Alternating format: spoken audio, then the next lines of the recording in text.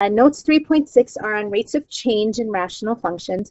So um, just like we did before, we just need to know how to find average rate of change as well as instantaneous rate of change. So to find the average rate of change, remember we're going to do f of b minus f of a all over b minus a. And then to find the instantaneous rate of change, we can do f of x plus h minus f of x all over h, where h is as small as we can get. Okay, and I, uh, ideally we would want h to approach zero. So question number one says, given the function f of x equals x over x plus 3, estimate the slope of the tangent line to the graph of f of x at the point where x equals negative 5. So if we want to find the slope of the tangent line, that's basically saying find the instantaneous rate of change. So to find it, just like we said before, we're going to do our delta f of x over delta x, and we're going to do f of x plus h minus f of x all over h, and let's make h small, so we'll make h uh, 0.01. Okay, so this ends up being f of negative 5 plus 0.01 minus f of negative 5 all over 0.01. So I end up getting f of negative 4.99 minus f of negative 5 over 0.01. So then when I plug this in right here, I get um, negative 4.99. I'm going to store it in as my x value right here, and I'm going to plug it into my function. And my function right here is x over x plus 3. So I'm going to type in x over, and then in brackets I have to write x plus 3 press enter, and I end up getting 2.50754. So I can say that this is equal to 2.50754 minus, and then when I do the same thing with um, just negative 5, and I store that in as x, I'm going to come up here, I'm going to copy and paste.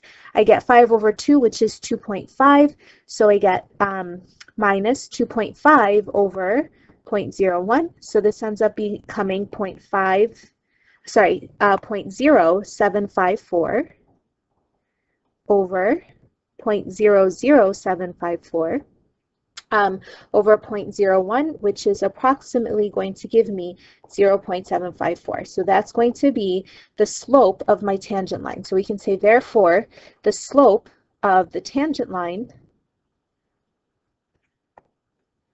when x is negative 5 is approximately 0.754. Okay, so now it says, well, why can't there be a tangent line uh, where x equals negative 3 right here? So at, at x equals negative 3, we have an asymptote.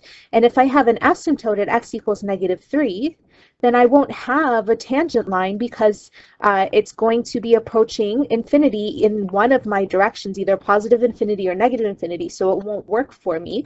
So I can't have a tangent line when x equals negative 3 because I have an asymptote.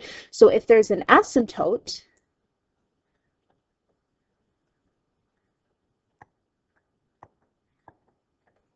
uh, there can't be a tangent line. And another reason why so we'll just write this down really quickly. Another reason why is because the tangent line tells us our instantaneous rate of change. But at negative 3, it's trying to approach infinity or negative infinity, so we can't have an instantaneous rate of change as a graph is trying to approach um, infinity. So there is no IROC as a graph is trying to approach positive or negative infinity. Okay? All right, in number two, uh, we've got a word problem, and it tells us that the snowshoe hare population in a newly created conservation area can be predicted over time by this model. P of t is equal to 50 plus 2500 t squared over 25 plus t squared, where p represents the population size and t is the time in years since the opening of the conservation, this should say area. Determine when the hare population will increase most rapidly and then estimate the instantaneous rate of change in population at this time. So if I want to determine when the hare population will increase most rapidly, I need to figure out where my, um, my IROC is going to be its largest okay? And I'm going to solve this graphically. I'm going to take a look at a graph of this and see how I can figure this out using a graph, okay?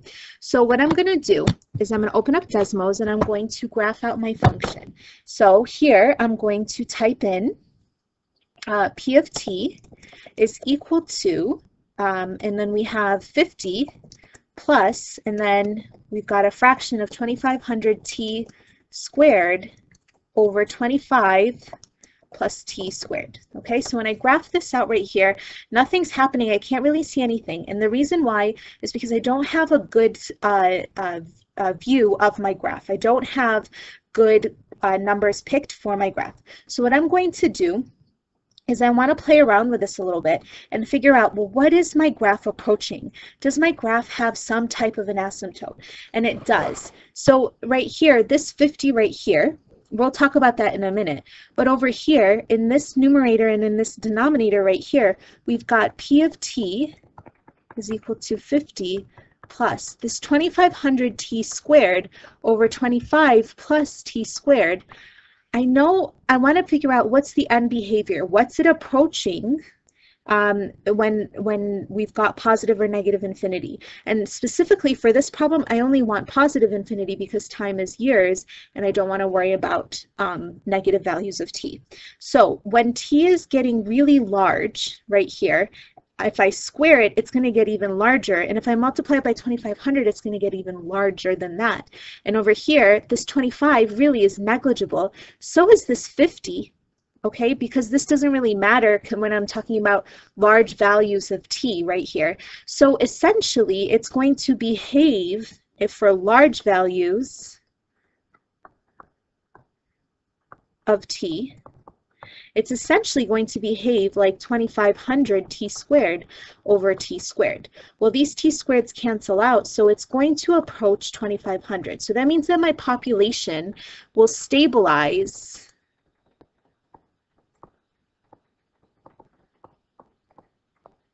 at 2,500 hares. Okay, so let's go ahead and uh, figure out how to change my graph so that this works out a little bit better for me. So here, I want my population to show, let's go from negative 100 so I can see my x my x-axis, and let's go up to a little bit past our 2500 that we have here. So let's go to 3000, and then um, I can see things a little bit better this way. I can see that it's leveling off, and it's also going to approach 2500 on the other side. However, we don't care about negative x values, so we're going to um, start with 0. Actually, let's start with negative 1 so we can kind of see the y-axis.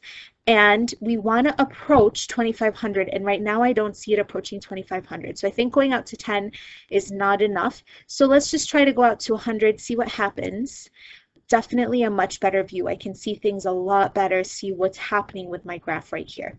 So it's clear that my graph is increasing right here, and then it's going to slow down, and then it's going to start to level off. So now, right here, I'm trying to find where is my instantaneous rate of change going to be the largest. So essentially, where is my uh, slope of my tangent line going to be the steepest? That's what I'm looking for. So I'm going to show you how to find that in your graph right now. So um, essentially, all I want to do is I want to look and see where my the slope of my tangent line is going to be the steepest, right? So if I look right here, it's very clear at zero, the slope of my tangent line is zero because it's not really moving anywhere, right? And as I get closer and closer to um, my tangent line, uh, or sorry, my asymptote right here, it's very clear that my slope is getting less steep. And I'll draw it in for you so you guys can see this a little bit better. So as I'm looking right here, it's clear over here my the slope of my tangent line is zero like we said, and then over here the slope of my tangent line is getting steeper and steeper and steeper, and then all of a sudden it starts to level off. If you notice the slope of my tangent line is getting smaller and smaller and smaller, and as we get closer and closer to my asymptote, the slope of my tangent line is approaching 0. Okay, so I'm looking, I think that my steepest tangent line is going to be somewhere within this area right here. So I think in this, amount, this area right here, I've got the steepest tangent line. Well, it starts at about 1.5 and it ends at about, uh, sorry, it starts at about uh, 2 and it ends at about uh, 8. So it's clear that it's going to be somewhere within that area. So I'm going to show you, um, at this point in time, your guess is just as good as you can do. You're just going to approximate it and see which one is going to be the best way to do it. But I'm going to actually draw in tangent lines so we can get a more accurate answer. In order for me to be able to graph out um, the tangent line, I need to use calculus. So don't worry about the formulas that we have on the side right here. It's not a big deal. Um, I just want you guys to notice the slope of my tangent line that I have here, and we're going to look for the one that's going to be the steepest slope. Um, so I want you to understand the concept behind this. I understand that you will not be able to do this without calc, but I want you to understand the process behind how to do this. So if I were to um, go ahead and adjust my uh, tangent line, this value is the x value that I'm trying to find where my tangent line is, okay? So if I keep increasing my tangent line, as you can tell as I get closer and closer um, to the larger values of x here, my tangent line is getting closer and closer to zero. So my instantaneous rate of change is getting smaller and smaller and smaller. Well, I'm looking for the largest instantaneous rate of change. So I'm going to go back to my beginning uh, A values right here. And I'm going to try to find where my tangent line is steepest. So here it's very clear that my tangent line is definitely steeper than it was when it was over here. So I'm going to just keep going. And it's clear right here that my tangent line is getting steeper and steeper and steeper. Now, right here, my tangent line is getting less steep and less steep. So it's, again, like we said, it's going to be somewhere between 2 and 8. So I'm going to have my step be between, sorry, my um, A value be between 2 and 8, and I'm going to just keep going with it until I find where my tangent line is going to be the steepest. And as you can tell right here, it's starting to get less steep, so I should go farther to the left, and right here, still getting steeper, slightly steeper, starting to slow down though, so I think I'm getting close to the steepness that I'm looking for. Um, and then right here, it's starting to get less steep again. So it's going to be somewhere around here. And I think 2.9 would probably be a good accurate representation of my steepest slope. Okay, so the question is asking me um, right here, uh, determine when the hare population will increase most rapidly. So the hare, the hare population will increase most rapidly when T, so we'll say it's most rapid when T is about 2.9 and uh, t is measured in years, so we'll say it's about 2.9 years, okay?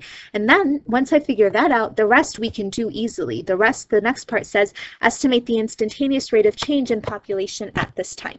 So in order to be able to do that, all I have to do is just what we did before and what we've always been doing for, for instantaneous rate of change. So I can say that the IROC is equal to P of, let's let H equal 0.001 this time. We'll make it even smaller.